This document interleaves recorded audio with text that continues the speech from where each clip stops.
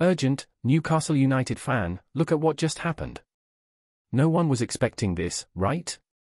But before that, go ahead and subscribe to the channel, because we have daily videos with the latest news about Newcastle United. And to ensure you don't miss any, don't forget to hit the notification bell.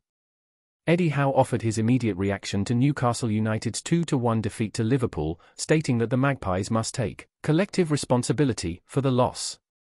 Howe held his head in his hands when Nunez's winning goal was scored and was questioned about his substitutions in his press conference. A quick pause for a notice, just to say, if you want YouTube to keep recommending the latest news about Newcastle United to you, then it's very important for you to like this video already.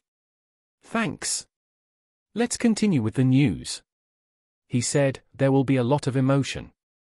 For us, we've had three very tough opening games, won one and lost two. The two we lost were lost by a narrow margin and were against the top two teams in the Premier League. And now, Newcastle United fan, I want to hear from you. What's your opinion on this? Share your thoughts in the comments. I don't know if you're aware, but your opinion is extremely important for Newcastle United. I'll be back with more Newcastle United news at any moment.